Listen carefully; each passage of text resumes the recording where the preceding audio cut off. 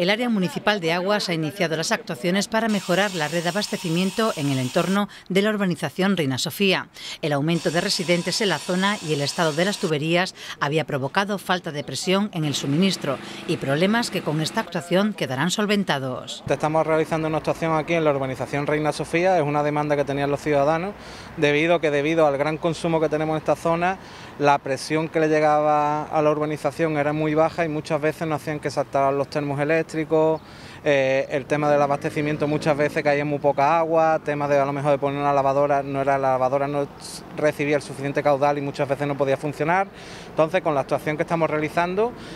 creemos y pensamos, y con el seguro estudio nos ha demostrado, eh, vamos a solucionar eh, gran parte de ese problema que tiene esta urbanización en cuanto al abastecimiento de,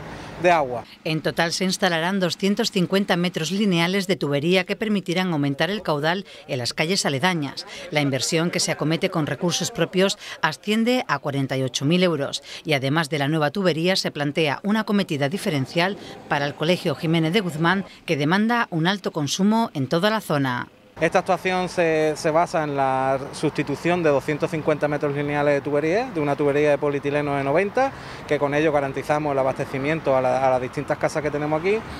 Y aunque vamos a actuar en, tres calles, con esas actuaciones en estas tres calles vamos también a aumentar el caudal al resto de vecinos de la zona, ni más ni menos, porque también con eso despejamos un poco eh, las tuberías antiguas y aquellas que podían tener problemas, que aquí teníamos sobre todo dos calles, teníamos muchas incidencias y muchas averías, solventamos esa avería. Las obras se prolongarán durante los próximos dos meses, por lo que desde el área municipal de aguas se pide comprensión a los vecinos por los posibles inconvenientes que pueda suponer esta actuación. Esperamos que en dos meses esté la, la obra finalizada y ya aprovecho y pedirle disculpas a los vecinos, que todos los vecinos deben saber que cuando se realiza acometida, se realizan obras de mejora,